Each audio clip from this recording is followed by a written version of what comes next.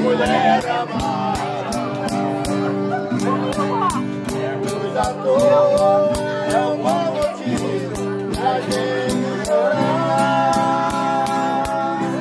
Apaga essa luz ao chegar a hora de ir cama. A gente